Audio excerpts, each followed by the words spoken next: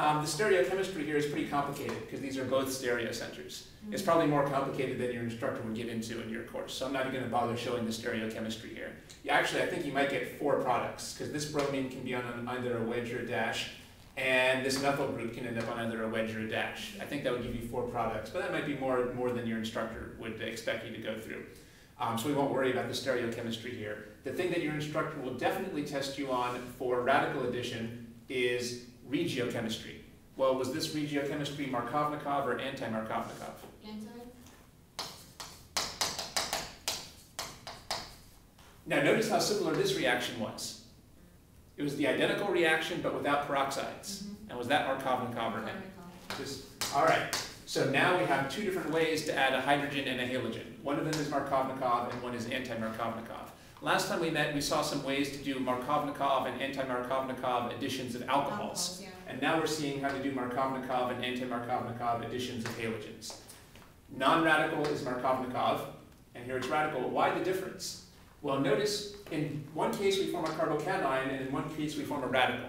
But that is not a very big difference because we want to form the more substituted radical, and we want to form the more substituted carbocation. The difference is who adds first in this reaction, and who adds first here. the bromine. That explains the difference between them. Um, here, the bromine adds second, so it attacks the more substituted carbon where we have the stable carbocation, but here the hydrogen attacks second. So that's why it ends up on the more substituted carbon, which is the radical. So it's crucial, the crucial thing about this reaction is that the bromine attacks in propagation step one, and then the hydrogen. You don't, you don't want to confuse that with our radical substitution, which is where we were removing a hydrogen and then adding a halogen. This is a completely different reaction. So here's three different things that we could do to this alkene. We could do allylic halogenation with NBS.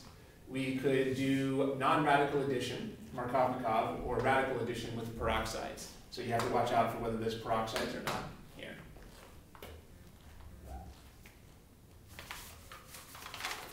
We won't bother showing the termination steps here because we don't need those to show the main products. Uh, Here's our main product right there. Okay, well, this is a complicated mechanism and we went through it pretty quickly, but as you've seen, I, I've gone through it in a little bit more detail in some of the videos, so if you need to, you can review it in the videos too. Okay. So, um, one thing that would be good to do is try to write down on a piece of paper, what are the reactions that you learned today? Uh, so,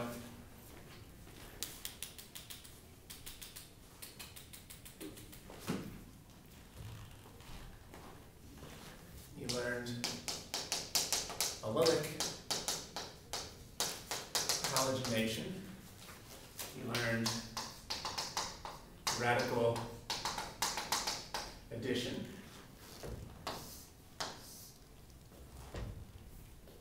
Radical substitution. And you learned, well, you learned radical substitution of alkanes.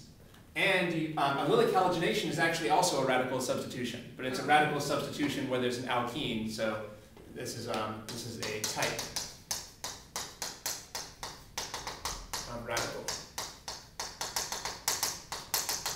substitution. And you want to uh, not confuse that with some reactions that you've learned previously.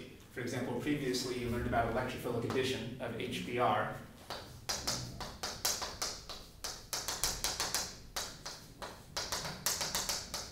This is an electrophilic addition, this is a radical addition.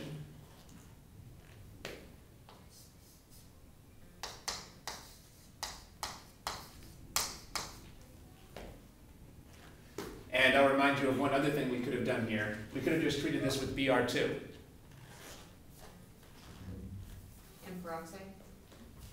And no peroxides, that's just something that we learned. Oh, right. That's an electrophilic addition too, right? Yeah, except here we would add two bromines. This is another. Lots of reactions. So you want to try to write those down all on pieces of paper and not get them confused. Well, most of those are in the handouts that, that I've given you. I have given you one handout on alkenes that has a bunch of the normal alkene reactions, and I've given you the radical handout. I never made, I never put this particular reaction, radical addition, into any of the handouts, but you have it in your notes. These videos are offered on a pay what you like basis. You can pay for the use of the videos at my website. There's a link to my website in the info box. The address is www.freelance-teacher.com slash videos.htm or you can just use the link in the info box. Thank you.